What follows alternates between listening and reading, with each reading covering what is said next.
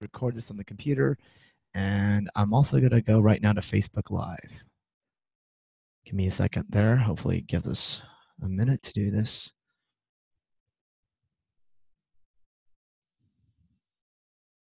This food's making me hungry. Well, not the fake food, hopefully. All right, we got about another almost two minutes and we'll be live. Okay, perfect. That's good timing.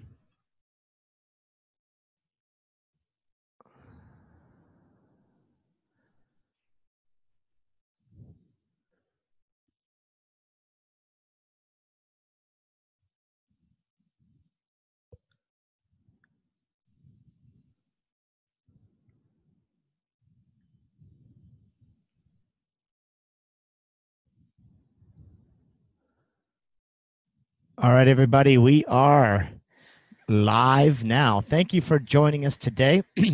we'll be on shortly. Uh, please share this video and all the videos to Take Back Your Health shows. It's available on voiceamerica.com, um, health and wellness channel, Take Back Your Health, or you can go to sanjevani.net, S A N J E V A N I dot net, and you can also um, have a link there, and we have all the episodes archived as well. So you can listen on demand, or you can um, Pull up the archives. pull up the archives. Now, let me go back here. So thanks for going. Today we're going to be talking about food deception part two. If you missed the first one, please go and listen to that because it was amazing information that we were talking about. Actually, shocking information. Probably one of the most popular episodes that we've done. And uh, we want to make sure that everybody listens today because there's going to be even more information that will be displayed and discussed. All right, less than 30 seconds and we're live. Okay. All right, again, everybody, thank you for joining us. It is a wonderful day. We're going to talk about foodborne illnesses. We're going to talk about food deception. Super important. If you eat food outside, you go to the grocery store. This show is going to be important because it's a, it's going to be the continuation of even more of the food deception that happens every day in the United States and globally. So stay tuned. Welcome to Take Back Your Health. Your hosts are Dr. Sunil Pai and Maureen Sutton, who will explain the shocking truths about healthcare, prescription drugs, food and supplement industries. They will help guide you to take back your power and feel great again. Now, here's Dr. Sunil Pai and Maureen Sutton. Welcome, everybody. This is Dr. Sunil Pai. Thank you for joining us today. Today is going to be a wonderful show. It is part two of food deception. The dangers continue. If you missed out on last week's episode, I highly recommend that you go back and listen to it. We covered everything from prion diseases, which is mad cow disease, more common than you think. We talked about a lot of foods in the industry, even some documentary films. We want to continue on from that discussion today and extrapolate a little bit more deeper on the issue of foodborne illness, how common it is, and the food deceptions in the food and restaurant industry. So, uh, without further ado, let's get started. Today, we were talking about foodborne illness, and so last week we were talking about, you know, one in four Americans get sick every year from foodborne illnesses. That's about 75 million people every year get sick from eating food in the United States. Now, we think we're supposed to have a USDA and FDA and, and health regulations inspections, but the system is ahead of us and we're lacking behind in quality and safety assurance.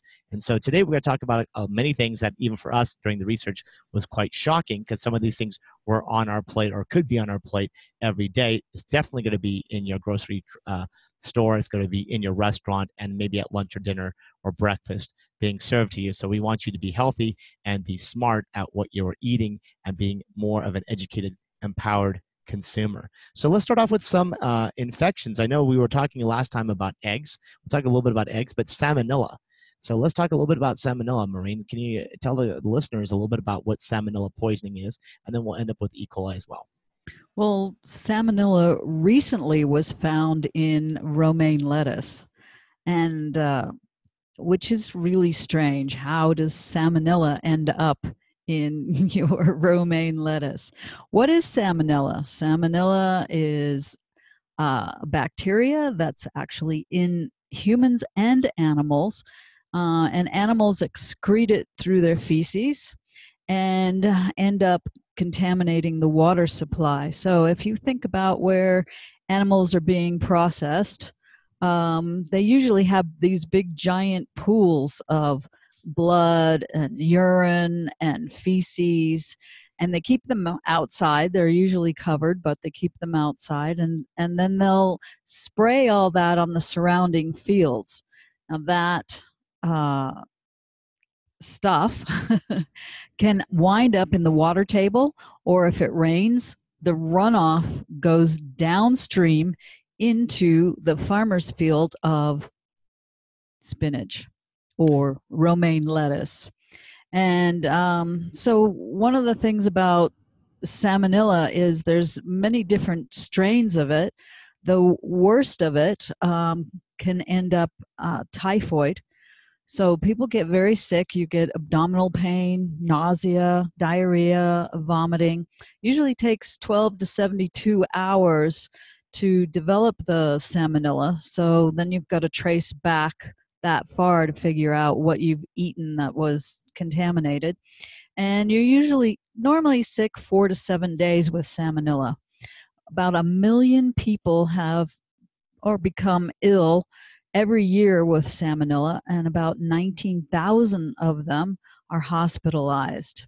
Well, that's a lot of numbers there. And then when we look at actually like things like E. coli, because that's the next kind of infection that people hear about E. coli on the spinach, on the tomatoes, on the peppers, you know, every year there's some kind of outbreak, quote unquote. But what we want to remind everybody who's listening today is that E. coli and salmonella, all these kind of foodborne illnesses, they do not come from a vegetable or a fruit or a legume or a plant by themselves. What are, these are bacteria that come from the inside of a human or more importantly, inside of an animal.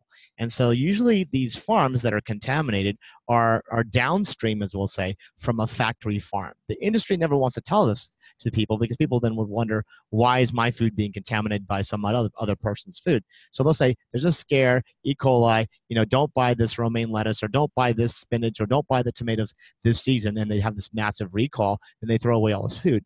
But people got to remember, it's not coming from the vegetables itself.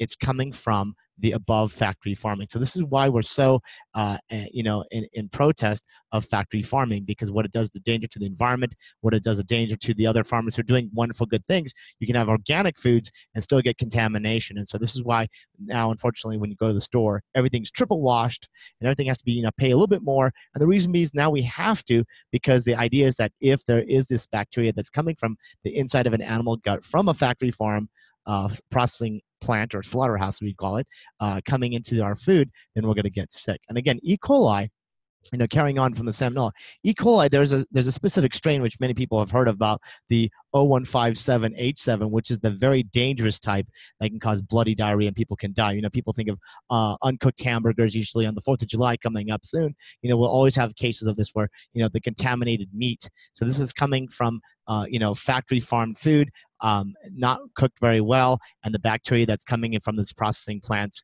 and factory farming actually we consume it, we get sick, and many people unfortunately will die because it's a very severe, especially with, with younger children and elderly patients. They become very dehydrated. Uh, they get sick very quickly. Uh, they have to be hospitalized and t- you know given antibiotics. Usually, it's too late by the time people you know who are camping on Fourth of July or somewhere else. They actually get to medical care. It's, it's too much. Also important is for those patients who are undergoing chemotherapy or cancer treatments, their immune system is down, their gut microbiome is also at risk. So avoiding animal proteins in general is key, especially uh, for all health. But more importantly, if you're if you're if you are a cancer patient or have any kind of immune compromise or gut compromise, which most people do on have on some level, uh, it, one more one more reason to avoid these foods.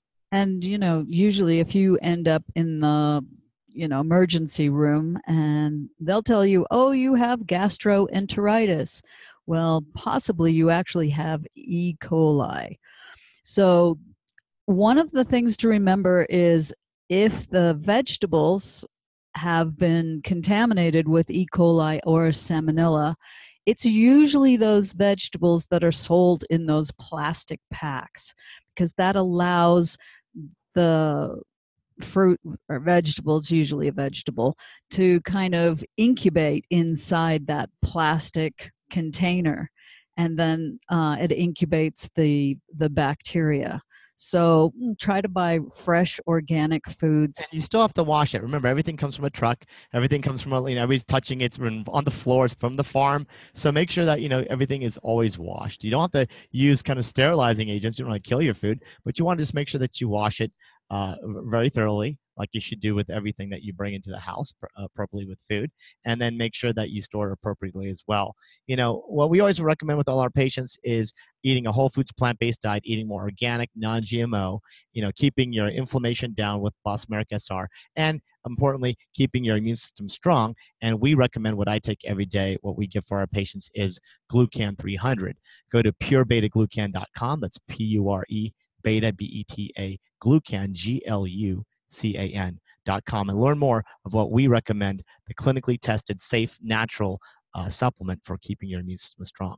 And that's probably the most important thing that you can do for yourself is to keep your immune system very strong so that these things are mild. Or if you're working with um, some sort of disease and you're taking medication or you're taking supplements, things that are natural, you're helping your body on its way to healing right and we always want to keep it strong so you know it's not just uh, avoiding these things is that you know there is exposures exposure risk and so the idea is like keeping your system stronger you know taking healthy probiotics we have those here at 770store.com you can get uh, a whole bunch of different information on that. We had a whole show on the gut microbiome go back and listen to some of those links of what we recommend there.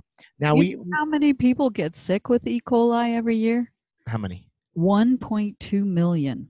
Wow. And 23,000 of them need hospitalization. So again, you know, this it's this is kind of like common numbers. Like over a million people, about you know 20,000 of you know, depending on each infection, end up going to the hospital, and that's a lot of healthcare expenditure just on food. We're not talking about people getting sick otherwise than just having a hamburger or a salad uh, on the Fourth of July or something like that. So again, everybody, please look at this. Now, last week we started and we ended with some fish right? We were talking about you know fishy foods, and so let's talk about lobster. You know, uh, when I was a resident, I used to go. There's a place across the street from the hospital. I was on call, and I used to get these lobster burritos. It was really delicious, by the way. But you know, for less than six bucks, for it seemed like a pound burrito of lobster. I just could never figure out how they got it so cheap. I just thought I was lucky. you know? But now we understand that lobster you know very interesting about one third of restaurants according to a study that was published looking at dna and 28 restaurants across the country major seafood restaurants you know in that you know 35% of the samples uh, did show that it was not lobster. They were actually uh, giving uh, substitutes which they're called langostinos which are like little hermit kind of crab looking. They call them the little lobsters. They're less expensive, but they're not the real what we call Alaskan king. You know, the, the sorry the the the, the, the big um, lobsters that people usually pay a lot of money for. So lobster is one thing, and also you also see the lobster meat, right, Maureen? And and what is a lobster meat made out of?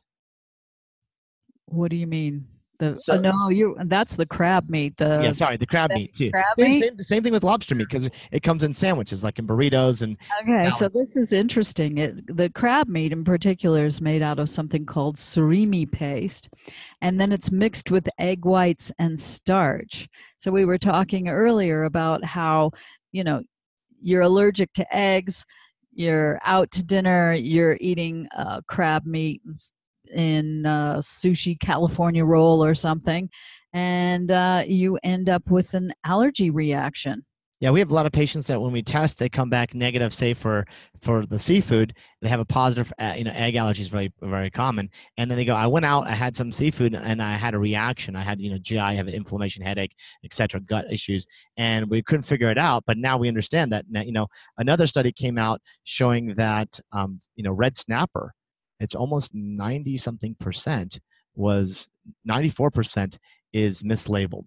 Meaning wow. so if they did the dna testing again the lobster and even scallops. Scallops oh. have scallops have been shown to actually be actually rays uh, skate and sometimes some of them may even be shark and they use cookie cutters to actually just make it look like a scallop. So these are things that when most people think that are very expensive you know are are troubling. So and there's uh calamari is often made out of pork bung.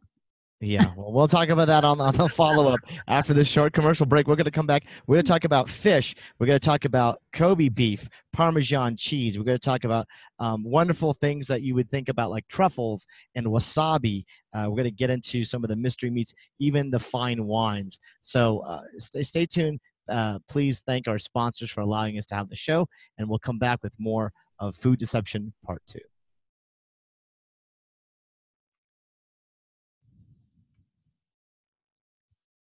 You're clear.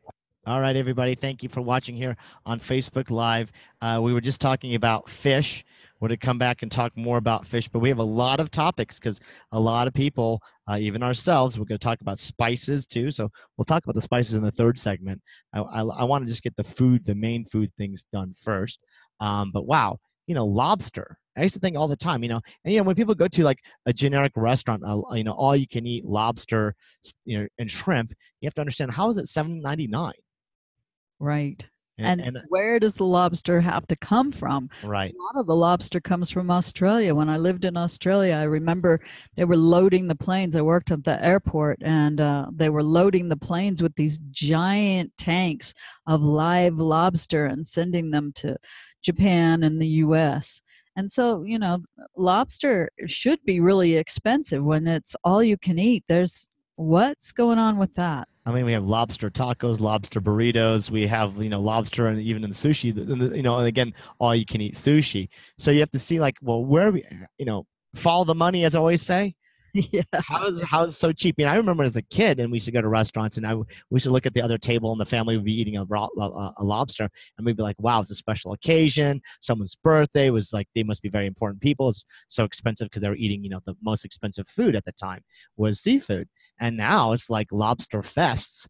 Uh, you can go to restaurants and just you know just unlimited what you can eat uh, for a certain price, like maybe 10, 12 bucks. And that doesn't make any sense when it used to be maybe 10 or $12 just for the tail.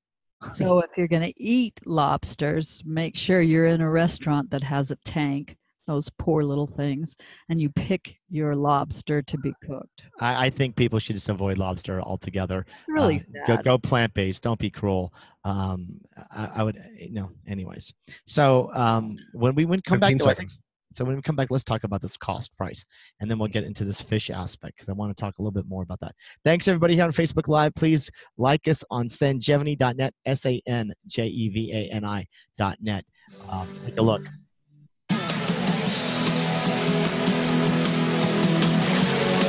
You are tuned in to Take Back Your Health. To reach our program today, call 1 866 472 5792. That's 1 866 472 5792. Or by email to radio at sanjevani.net. That's radio at S A N J E V A N I dot net. Now, let's return to Take Back Your Health. All right, everybody. We were talking about fish before we left the food deception in the industry, and you know we're looking at you know uh, one of these major offenders in the fish industries. We're looking at mislabeling. You know, this even comes from the supplier. It's not just even the store itself. It, the the deception starts even from the fisher men supplying it to the you know the the distributor, distributor selling it to the the health food restaurant or the or the restaurants directly. Um, toothfish has been uh, substituted for Chilean sea bass. A lot of people go, "Oh, I want to get you know this expensive Chilean sea bass." It's actually toothfish. Escolar uh, as white tuna. Threadfin uh, slickhead as Alaskan cod. And uh, yeah, slickhead. I like that name. Don't even know what it looks like. If I Google it, probably. But a study conducted in 2010 and uh, uh, and 2012 from the Ocean Conservation uh, Ocean Conservation Organization Oceana found that every single sushi restaurant that they studied and tested in New York City at that time had mislabeled fish. So if this happens in the city that has, you know, the best quote unquote seafood uh, in the United States, you know, fresh flown in and the, you know, the best artisans, craftsmen that are making Japanese food and sushi, what happens in the rest of America when it's just any town buffet, uh, or any town America, all you can eat? Um, so it's just very, very concerning. Escolar, Yeah, the escolar has actually been banned in Japan and Italy, but we still use it here, and it could be you know, used instead of tuna. And what's the problem with that? It contains histamines that can cause disturbing side effects, diarrhea. Yeah. So again, uh, one more reason just to look at uh, in my book, An Inflammation Nation. You can go to aninflammationnation.com and get a signed copy. I actually cover all the data here on the mislabeling of fish, but this is all up to date new information. Now, what do people eat with their usually their sushi is wasabi. And now a study came out, you know, um, that was actually written up in the Washington Post. About 99% of all wasabi sold in the United States is fake. So what that is is that it's basically a mixture of horseradish, hot mustard, and some green dye. Which really isn't that bad, but you think you're eating something exotic called wasabi, and it's horseradish. And wasabi is really expensive because for uh, $160 a kilogram at a wholesale price. Right. And the interesting thing is, so it's a part of the plant, it's grated, and you pulverize it to make the spicy taste. Okay, it has it has a more complex taste than what we usually get, and it needs to be eaten immediately within 15 minutes of when it's when it's processed because it loses its signature flavor. Now, every time I used to go when I used to go eat sushi and fish, you know, it was sitting there on the bar for I don't know how long, or in the little plastic container that we took to go. It could have been there for days because it's not real stuff. So even so, now we have fake fish and we have the fake wasabi. So again, everybody, you know, again, even in New York, fake fish, fake wasabi. We definitely want to we want to start looking at getting better. I remember when I was in Japan, I used to take tours to Japan, and you know, first timers going to Japan and eating sushi, and the, the first time they saw wasabi, they thought it was guacamole. Wow. and they take it with their chopsticks and put it in their mouth and yeah, that that would not be a good thing to do. I I do not recommend anybody at home doing that. I think but, that's a common mistake actually. Yeah. So so the next the next food item, food deception is, you know, this this this thing called Kobe beef right? We've heard about it. It's been a big craze in the last like five, ten years, but particularly in the you know these these um, restaurants that you see these chain restaurants now all the burger places kobe beef kobe steaks uh, etc um, interesting thing here kobe beef costs more than $20 per ounce. Wow. Okay? Now there's only eight restaurants in the entire united states that actually serve real kobe beef. Eight. And I could probably Google right now. There's going to be a thousand different restaurants or uh, offering Kobe beef, Kobe steak, Kobe Kobe sliders, all these kind of things like that. Um, nope, fake beef, fake food. Okay, so we have to be careful. What they're doing, they're just selling you just lower grade, regular uh, hmm. processed meats. You better tell people what Kobe beef is. Uh, go ahead. People have never had it. Well, they shouldn't, but uh, anyways, it's uh, where they take the cow, unfortunately, and they massage it and they treat it nicely. They're supposed to tenderize it, make it softer, and all this stuff. I don't know. I, I think it's still inhumane to be using these kind of things like that. People say it's a softer, just kind of like a veal kind of concept of beef, right? It's like how do we make it softer and all this stuff like that. So they pay more because it's a higher cost to um, grow the animal. But unfortunately, most people that are going to get a 6.95 or 10.95 Kobe beef burger at the hotel tonight at the conference that they're at, or traveling on you know with their family having a meal, um, unlikely that it is. It's just cheap meat. Now, we all go to, to um, seafood restaurants. We all go to Italian restaurants, and we all have pasta. And what is the thing that most people, except for us who are plant based, who what they put on pasta is Parmesan cheese. Now, Parmesan cheese has been shown to actually contain. Uh, so when they say is interesting, Bloomberg News actually did a report in February showing that store-bought grated cheeses that say quote unquote 100% grated Parmesan cheese have been tested to contain anti-clumping additives made out of wood pulp. So it's a it's a wood pulp um, additive that kind of clumps it. So that's when they shave it, you know, kind of has this dryness, kind of powdery aspect. But since it's already grated, it's already been kind of made there artificially. So again, you know, it's again a fake cheese. Yeah, well, I guess the cheese, the cheese itself is some form of cellulose.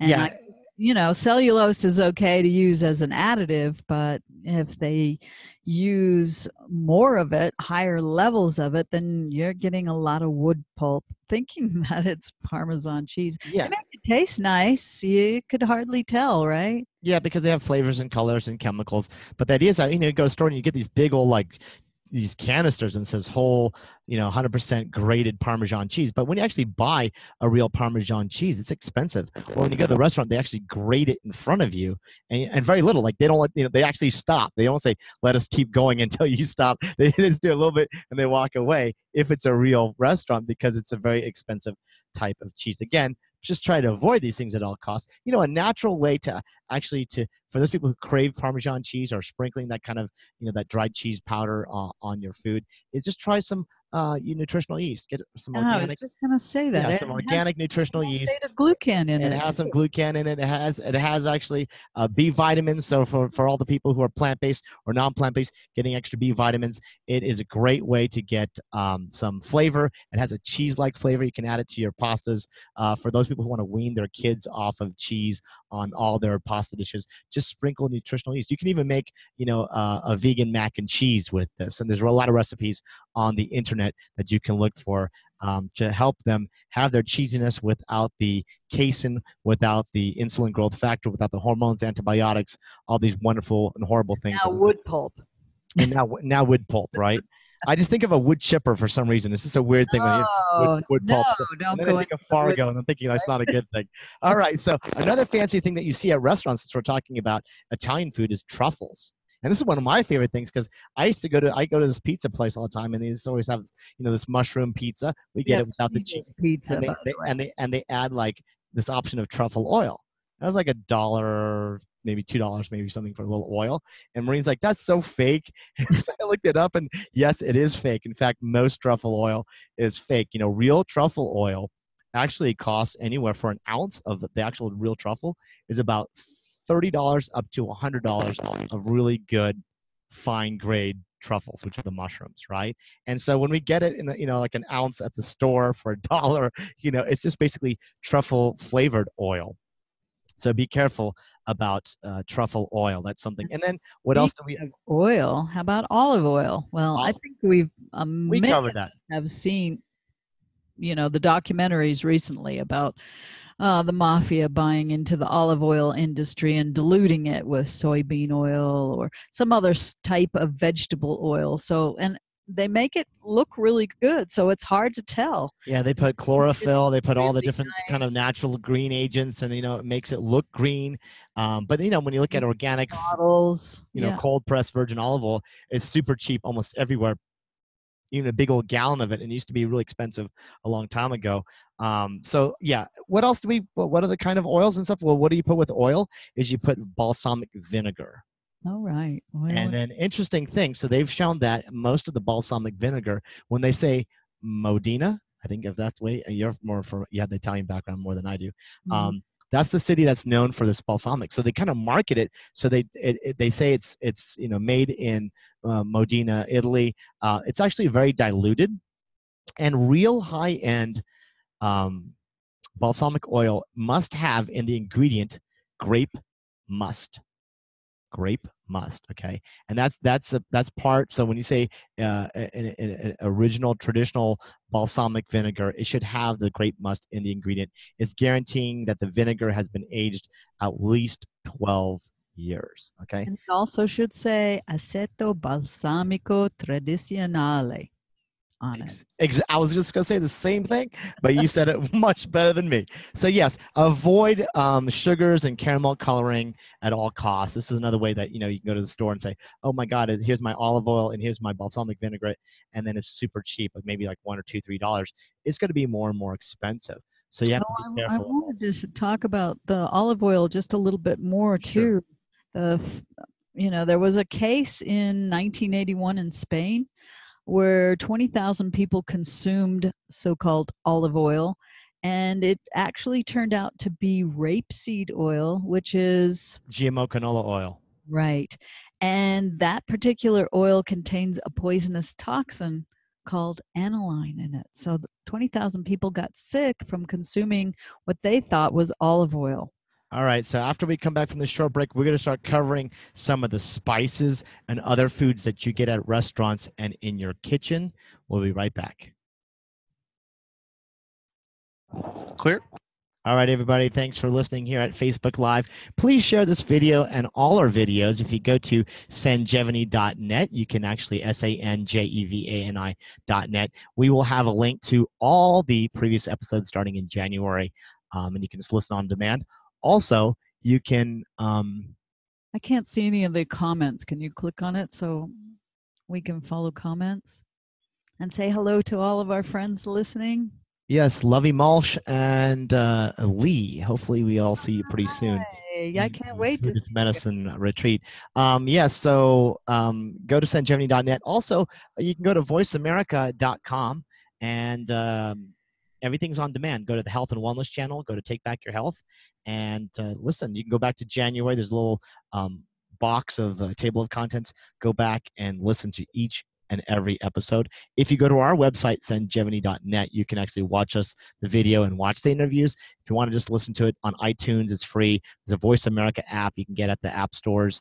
Um, and you can listen on demand when you're working out, when you're at work, bored, if you're exercising, uh, if you just need some more information, you're tired of watching social media or the news, the fake on news, a treadmill. you can learn about fake foods.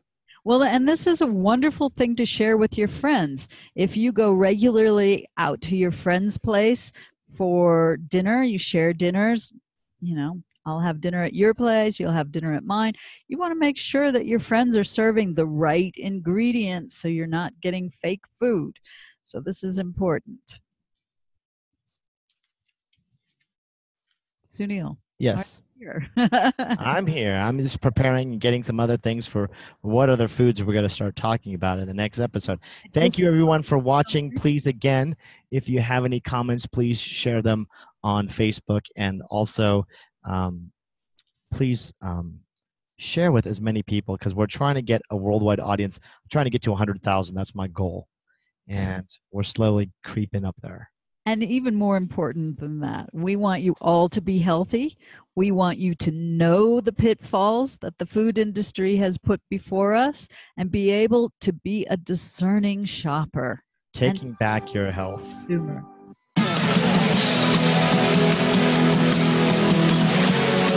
You are tuned in to Take Back Your Health. To reach our program today, call 1 866 472 5792. That's 1 866 472 5792. Or by email to radio at sanjevani.net.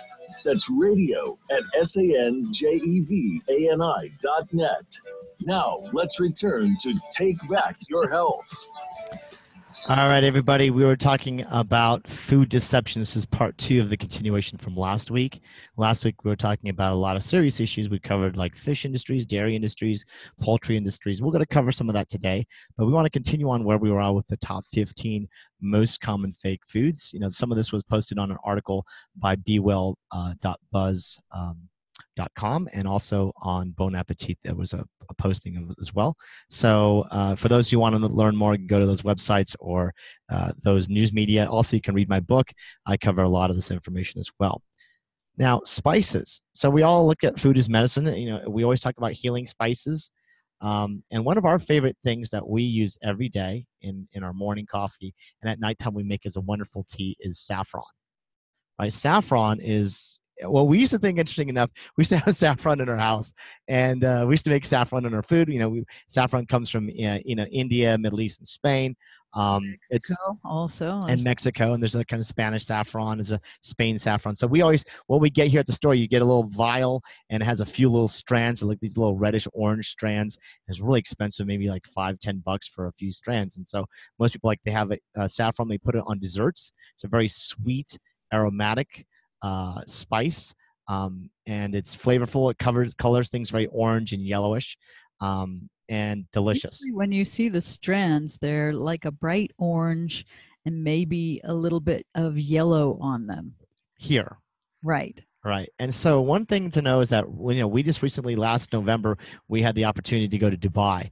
Uh, we were at a health conference. We were invited to go. It was the Ayurvedic Yoga Unani Siddha Homeopathy Conference. 3,000 doctors came from India, and Marie and I were invited to go, which was a really honor for us to be there.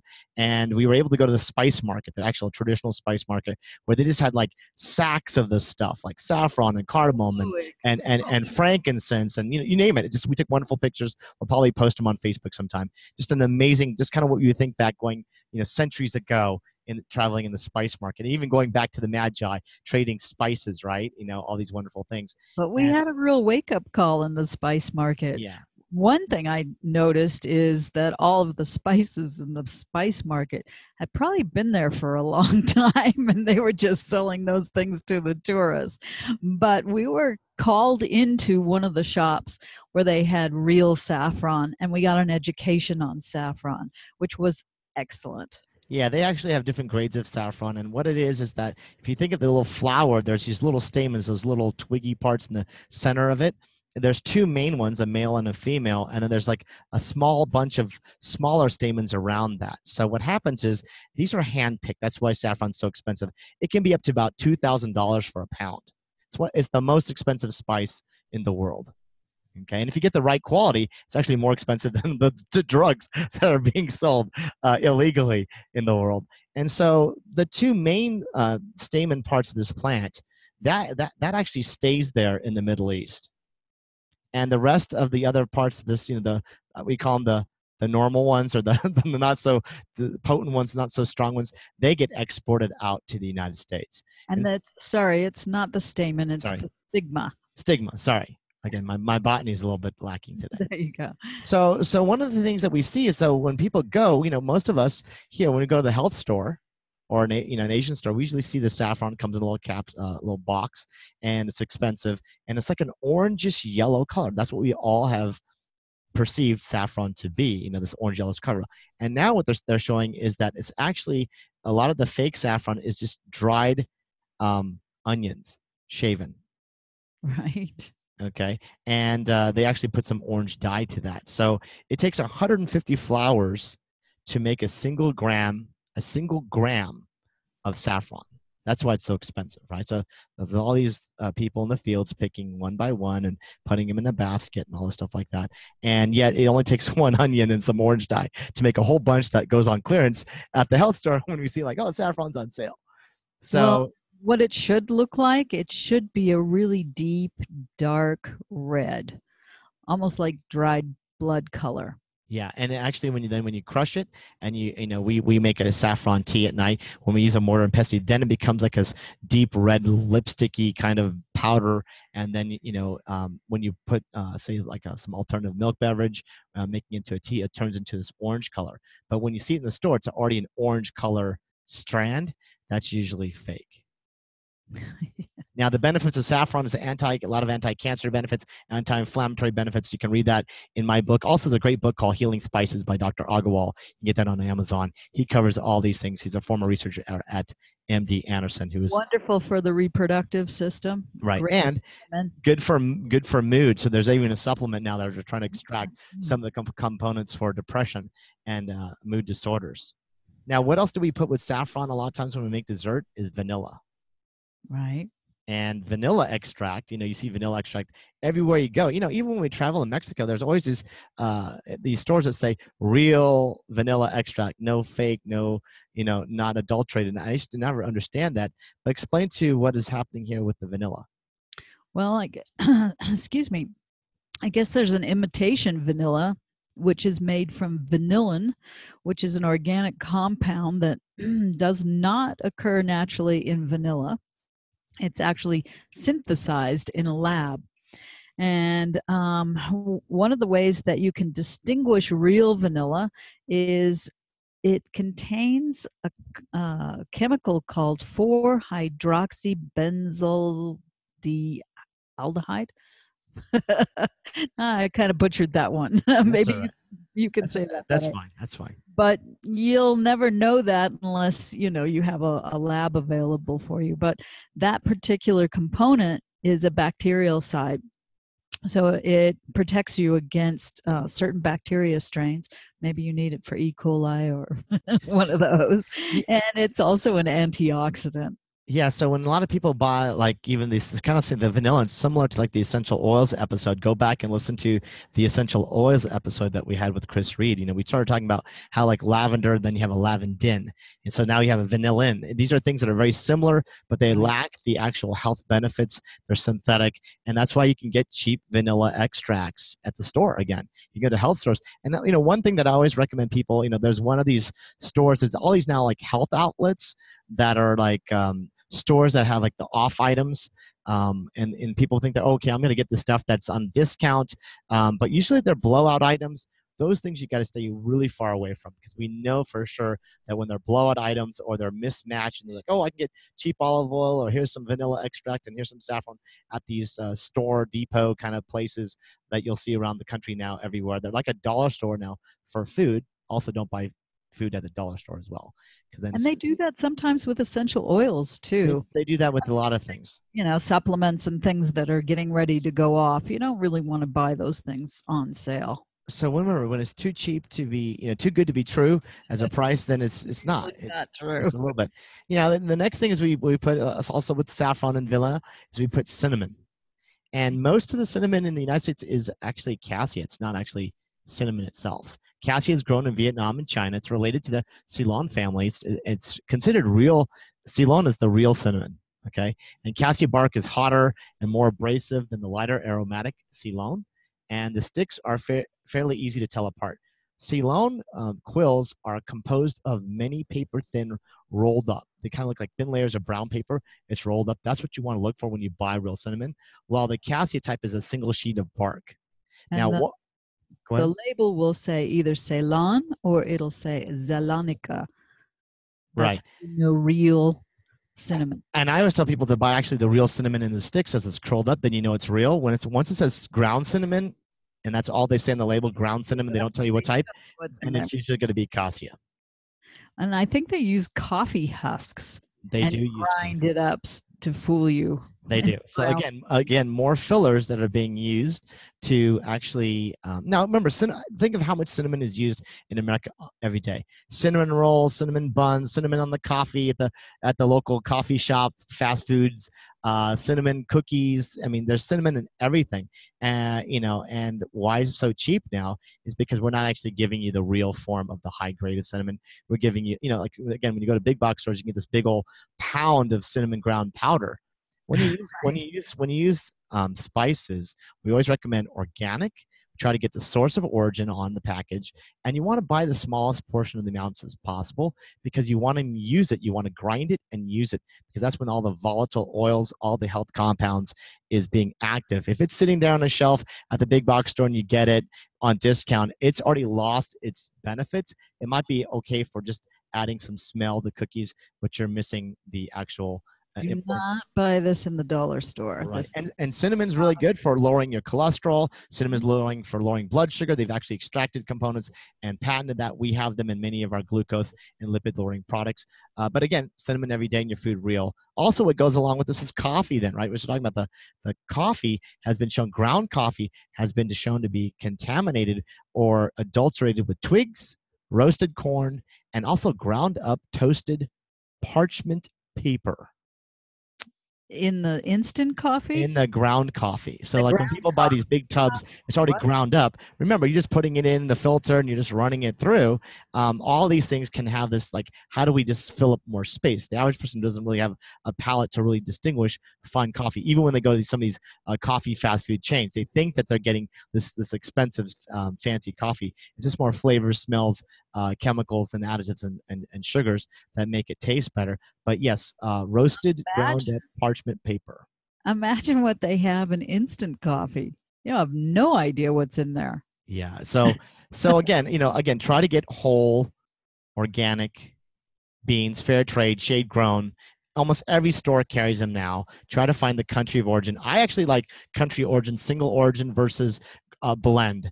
Blend just means they're picking up all the beans from wherever off the floor of the warehouse, and they say, okay, this is a city blend, this is a this blend, this is that blend. I like to get specific coffees uh, that are just origin. Then I know I'm supporting those people, fair trade, shade grown, organic. That's what you can get, and it's not more expensive. In fact, you know, organic a canister at, at, a, at a regular store could be maybe nine to 12 bucks, people are spending six bucks for a latte at the uh, local coffee fast food You want to get fair trade, organic, whole beans, grind them yourself, make your own coffee. Put a little bit of cinnamon, put a little bit of organic turmeric, put a little bit of, of uh, cardamom powder, put a, uh, grind a little bit of real uh, saffron, and then you can put something like dandy blended, which is roasted chicory root and um, and dandelion, and it's delicious. That's what we make in our coffee every morning. Health drink first thing in the morning. Right. It makes it more alkaline. You have all the anti-inflammatories, all the flavonoids, all the uh, you know health benefits. So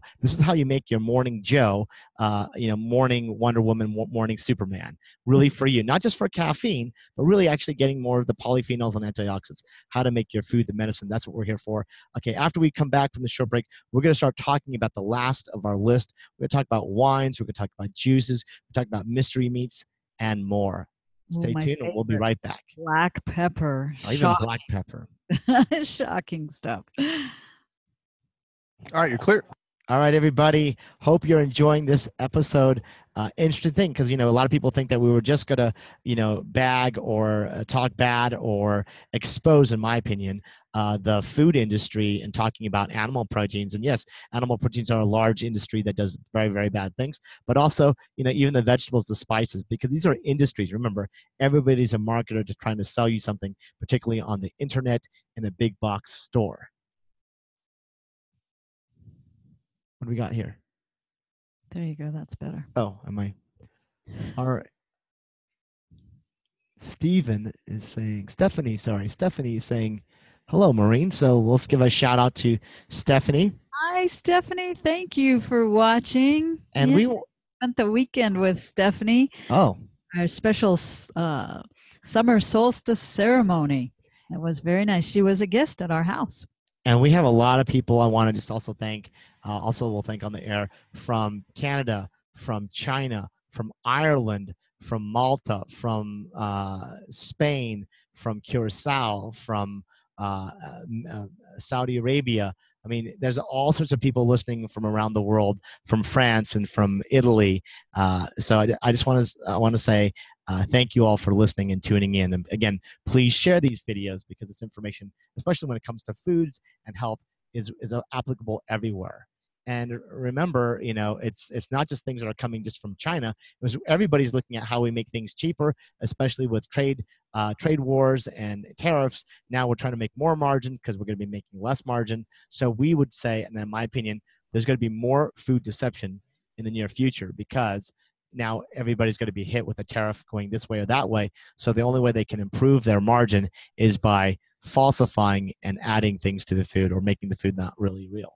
Right. When the mafia changes their business to olive oil, you know there's something they're on to something, right? right. And and make sure I'm going to talk about the uh, the um, the the meat again, the two to fourteen percent. I don't think I don't know if we talked about that last time. And then we'll talk about a little bit about uh, the milk. We can talk about mystery meat and wines and anything else that we're missing. Let's talk about that. Anybody has any questions or comments, please post it on Facebook. Uh, send us an email if you want us to ask any questions that next time we can answer on any of the future shows. Go to radio at sanjevani.net and uh, we can bring it up when appropriate. Back right now. Um, your question and answer it for you.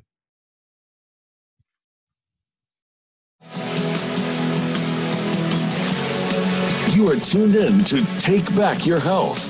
To reach our program today, call 1 866 472 5792. That's 1 866 472 5792. Or by email to radio at sanjevani.net. That's radio at S A N J E V A N I dot net. Now, let's return to Take Back Your Health. Wow, what a show it's been. You know, I've learned so much. Hopefully, everybody who's listening, you have learned as well. Again, it's not to scare people, it's to make us understand why, you know, in 2018, so many people around the world globally are still sick, even though they're trying to eat healthy, even though we have health food stores or online delivery, and we have, you know, restaurants now that are claiming that they're higher end. You know, uh, it's one thing that I want everybody and each listener to be is healthy and happy. That's our intention here at Take Back Your Health. And Maureen and I want the best for everyone to always feel good and feel good about what you're putting in your body. And so, you know, when you're looking at your family finances, you really want to be spending a large amount of money on your foods. Don't go to the dollar store and buy cheap foods that turn out to be fake foods and affect your health. Buy good, organic, real foods. You know, a lot of, you know, we, I think the study in my book, I have the data, but it's about 6% where the average uh, family in America spends on their food in terms of their income. And in most countries around the world, they're spending anywhere from 20 to 30%. That's means, interesting thing. We so, so we we that. value you know they value the food. They go to the fresh markets. They go to the local uh, co-ops. They go to the farmers markets. You know, it's everything is fresh, smaller amounts. And here we're just the opposite. We go to the big box store and say, I'm going to get 50 gallons of this at a discount, and I'm going to store it in my my my pantry forever because I got it on discount. And it's just like the Seinfeld episode of where Kramer just loads up with uh, with the beefaroni or whatever. These are not really good things to do. Fresh, small, you know, it's not inconvenient because what's inconvenient is having a heart attack, having diabetes, having cancer. So really making the food the medicine is important. Now, we talked about beef last time, and I wanted to make something just real quick. In my book, I'm not sure if I remember if I talked about it last week, but you know, the Annals of Diagnostic Pathology looked at the beef content in the food industry, and mm-hmm. they took the type, top eight fast food restaurants again, and they looked at the meat content. And what it showed is that the average meat content in the top eight fast food restaurants ranges between 2 and 14 percent. So what that means again is that 86 to 98% of the all beef patty or ground beef in your taco, for example, is not meat. So what is it? So it's GMO corn, GMO soy, now soon to be GMO wheat, and all the pink slime that you don't want to know about. So again, you know, one thing is, is pink slime. Pink slime. Just Google it, but not again before you're eating. exactly. You know, one thing I want to make uh, clear is that you know before we went plant based, you know, I, you know, Maureen was way healthier than I was for for most of her life. For me, I was a standard American diet person until 2009. When you know, when you read my book, my life had a, a, a game changing experience that looked at I looked started looking at how food was really now um, should be applied as medicine. I was I used to eat. There's a local restaurant, actually a local burger chain. I won't name it for legal reasons, but I had a patient many years ago who was a rancher who'd supply the beef, and it was this, this famous Angus beef burgers.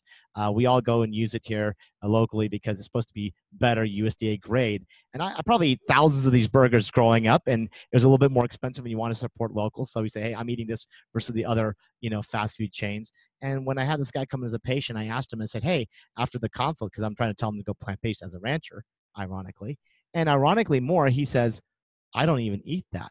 And I go, what do you mean you don't? You supply the the, the, the cows to this the industry you, are the ones with the angus beef and he's like no what we sell for for ground beef is the worst type of cow meat or the worst uh, cow animal state of, of health they have tumors they have infections that all goes to ground meat and that's up to the, the restaurant supplier to cook it at a certain temperature to kill that bacteria and also he said I want to get a piece of meat where I can actually see it and cut it so I don't have tumors or other aspects of defects in this animal because it's all factory farmed usually.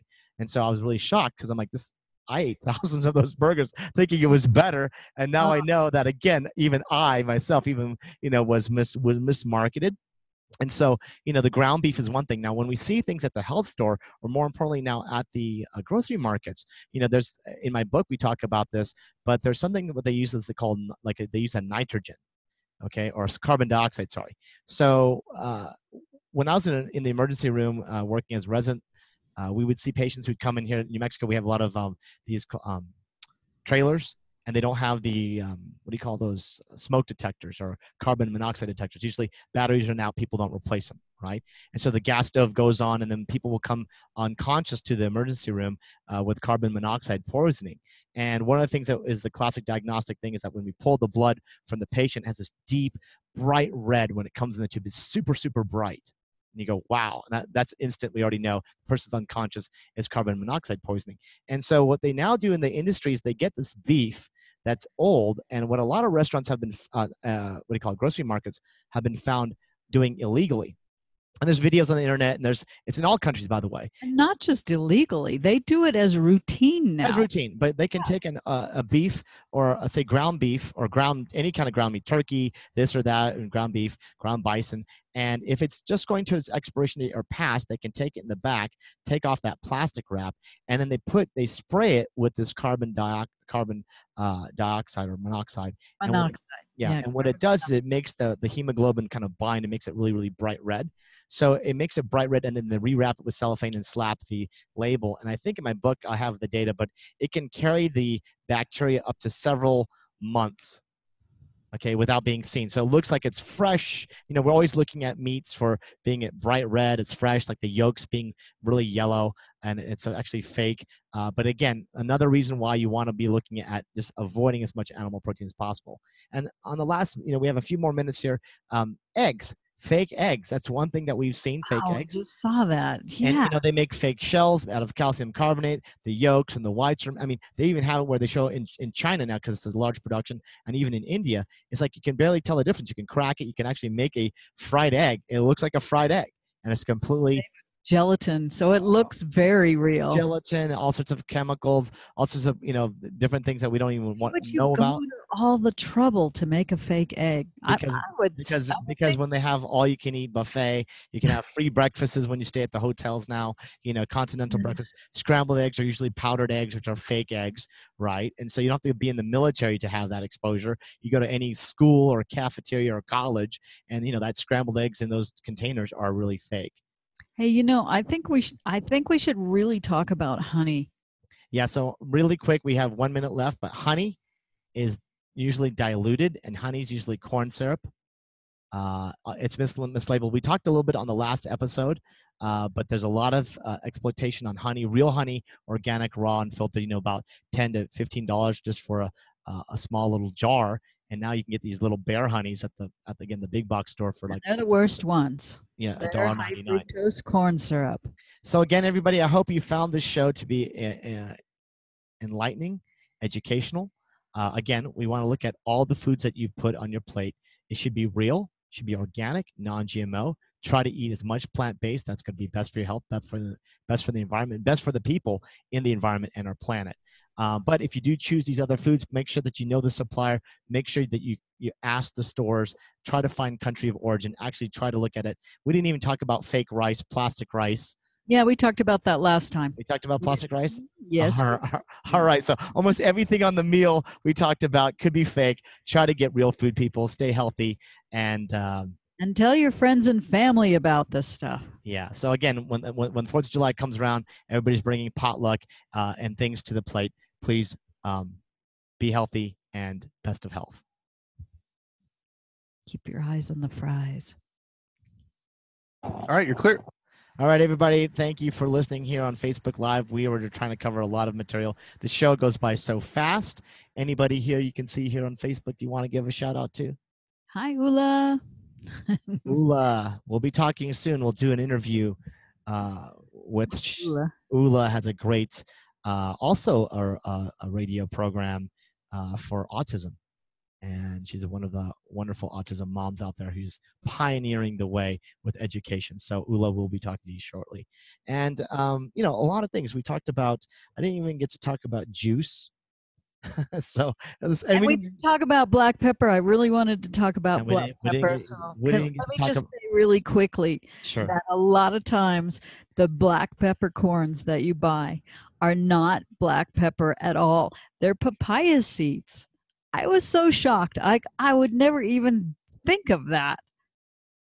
Yeah, I think And that's I, I know I know that there's some articles coming saying that they were actually using black sand for just the the the, just the pepper that is put in the little pepper, Oh no. peppers things. So black sand that was coming out of China. That's why people were selling again in these um these big box stores. Like they they get these salt and pepper shakers and all these things. It's just cheap. It's not even real pepper now.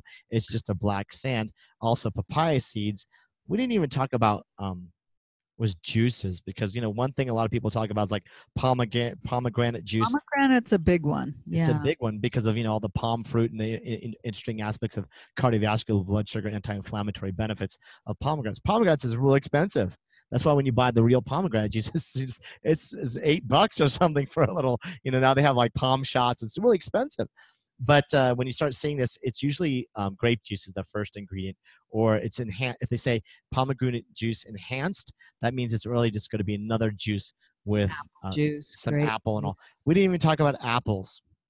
Oh, oh goodness. So many things we didn't. So apples, just real quick, everybody. Apples, uh, the number one importing uh, country is from China, and most of the apples are heavily sprayed. So when we saw in the last four years this huge surge of apple foods, right? Like now new different type of apple juices, apple cups um, for children, uh, even for the adults. The hard cider. I mean, there was literally Cider became huge. huge, like a half a dozen companies overnight. It's like hard cider, hard cider, hard cider. Like where why. where are those apple, you know, alcoholic apple drinks are coming? Because it's all cheap apples being grown in China, full of Yeah. pesticides.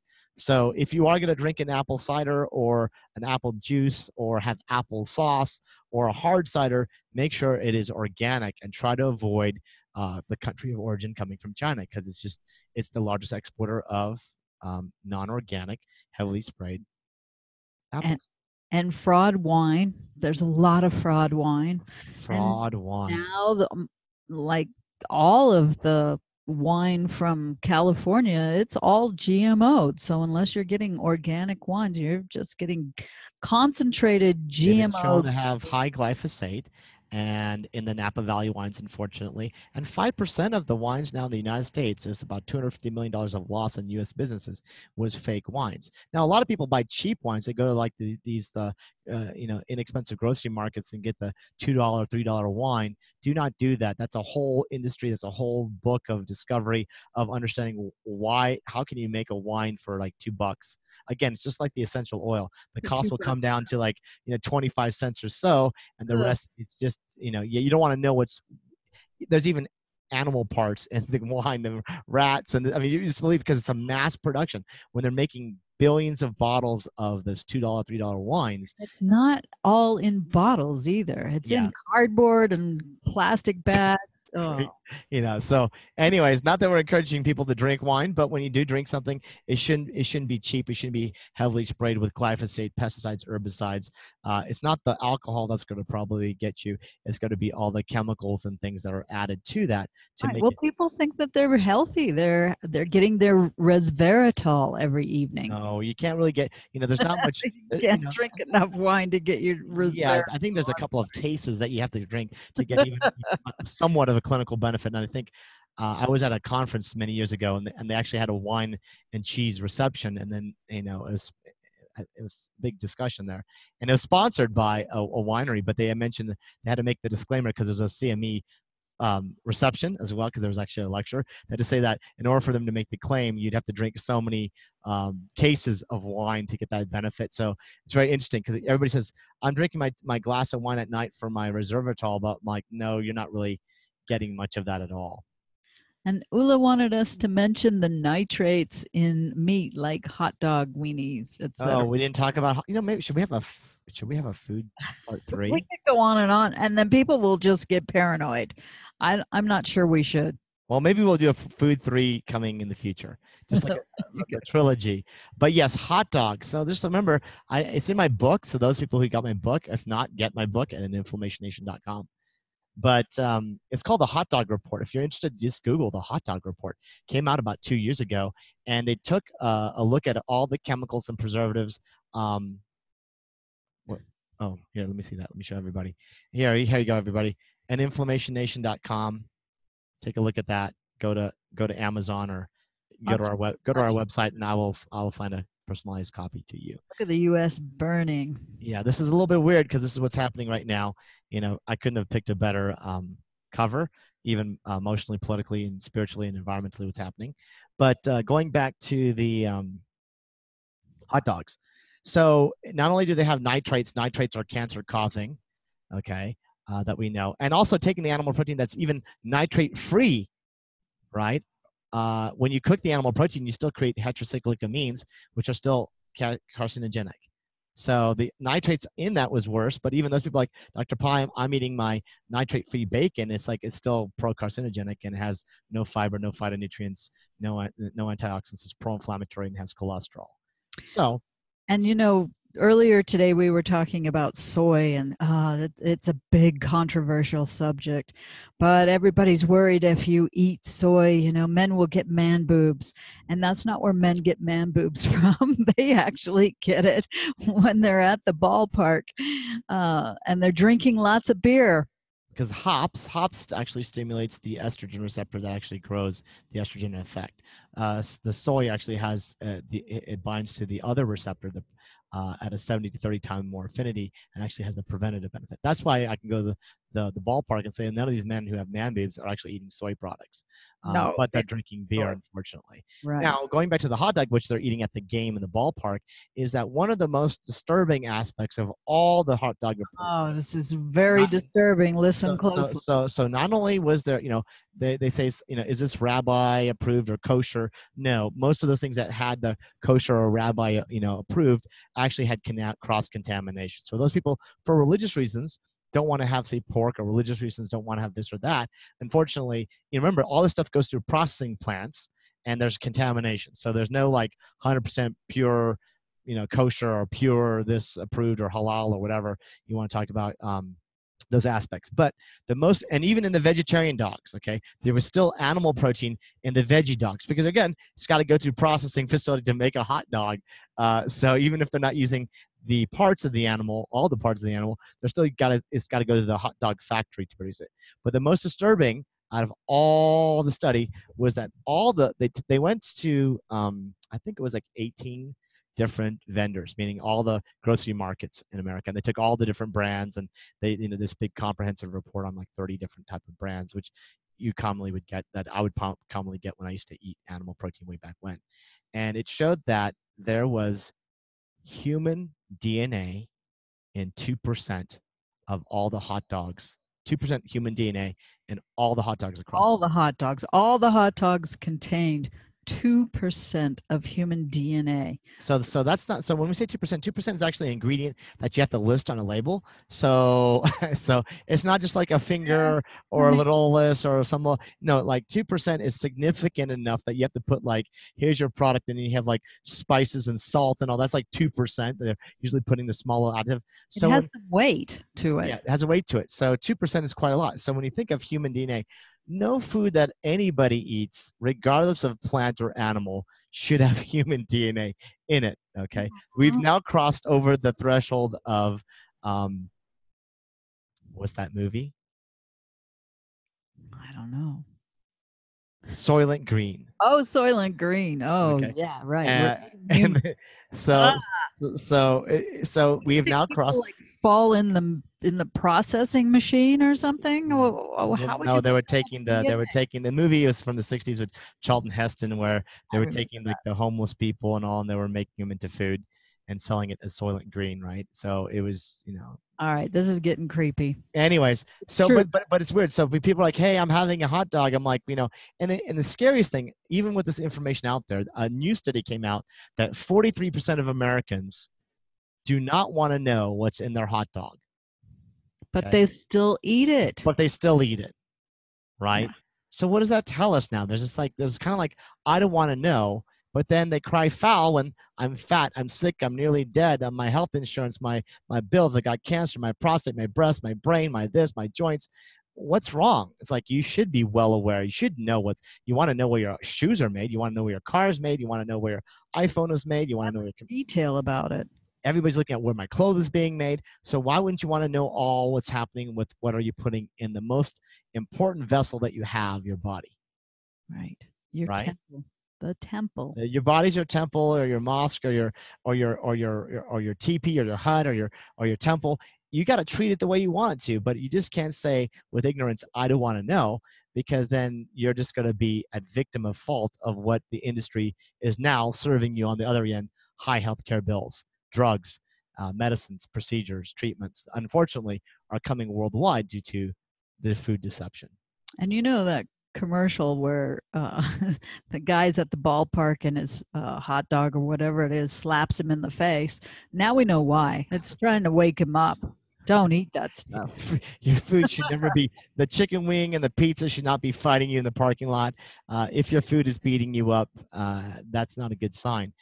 Change your diet. You know, and those, those type of commercials don't really play uh, in other countries because they don't understand that concept of you know fighting with your food.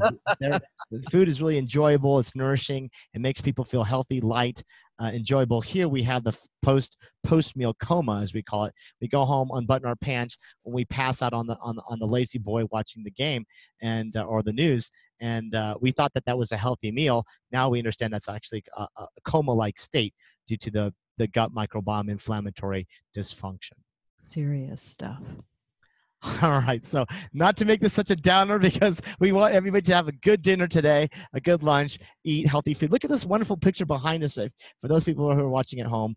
Uh, or this is the kind of food you should be eating every day. Fresh foods, rainbow colored food, antioxidants, phytonutrients, fiber. Go back and listen to the update on plant based diet or the anti inflammatory diet a few episodes if you missed that. The data is amazing and will shock you on how just small little changes have profound, profound, profound, significant health benefits.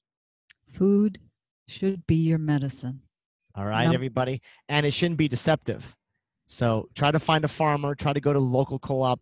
You know, there's now even delivery companies that can deliver. Uh, try to still lower your carbon footprint if you do that. But again, as much as you can eat plant-based, organic, non-GMO, whole food, plant-based diet, number one. And then again, we want to thank our sponsors, uh, Glucan 300. Go to purebetaglucan.com. Uh, also, Phyvita. You can look at the best quality CBD products. We have that available on our website as well. And Bosmeric um, for your anti-inflammatory support. Until next time, everybody, thank you for joining us. Please share this video with all your family and friends, and let's get more and more people educated and empowered to take back your health.